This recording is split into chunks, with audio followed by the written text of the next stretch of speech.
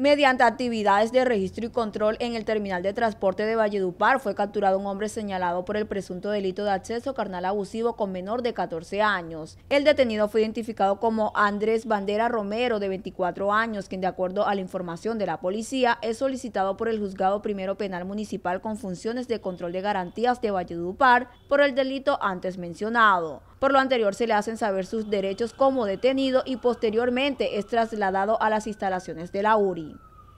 El Mesón de Alejo, desayunos y almuerzos, almuerzos criollos, acompañados de arroz con coco, arroz blanco o arroz de fideo, patacones, ensaladas, frijoles, sopa y agua de panela. Especialidad chivo en salsa. WhatsApp 302-342-3615. Calle 17, número 7A-69.